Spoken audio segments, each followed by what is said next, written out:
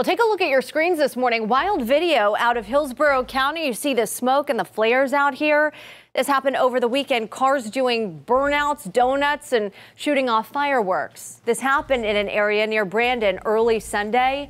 Deputies arrested two men, two women between the ages of 20 and 22 for participating in street racing. The group said it came from Lee County. In a press release, Sheriff Chad Chronister called street racing incredibly dangerous and said those involved will face consequences.